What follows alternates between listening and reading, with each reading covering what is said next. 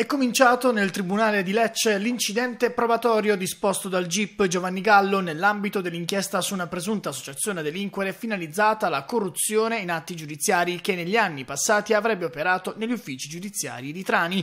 Un lungo memoriale in cui vengono chiariti alcuni aspetti della vicenda che ha come protagonisti gli ex magistrati di Trani Michele Nardi e Antonio Savasta è stato presentato dall'imprenditore di Corato Flavio D'introno nel corso dell'incidente probatorio in cui è protagonista nel Tribunale Tribunale di Lecce, il GIP Giovanni Gallo ha dato tempo affinché avvocati e indagati prendano visione del documento prima di proseguire l'esame di rintrono. In aula presenti Antonio Savasta, detenuto ai domiciliari da marzo, Michele Nardi e Vincenzo Di Chiaro, in carcere dal 14 gennaio, nonché diversi altri indagati. L'incidente probatorio chiesto dal procuratore di Lecce Leonardo Leone De Castris e dalla PM Roberta Licci, che hanno coordinato le indagini dei carabinieri, proseguirà il 26 e il 28 maggio con l'esame di Di Chiaro e di Savasta. In tutto sono 12 le persone indagate per reati che vanno dall'associazione a delinquere alla corruzione, falso, abuso d'ufficio, estorsione, minacce. In carcere sono finiti il 14 gennaio l'ex GIP di Trani Nardi e l'ex PM Savasta e il sovrintendente di polizia Vincenzo Di Chiaro. Secondo la tesi della Procura di Lecce, i magistrati Nardi e Savasta, insieme ai colleghi sui quali sono ancora in corso le indagini, avrebbero asservito la funzione giudiziaria a interessi personali, favorendo alcuni imprenditori coinvolti in processi procedimenti giudiziari dai quali avrebbero ricevuto cospicue tangenti.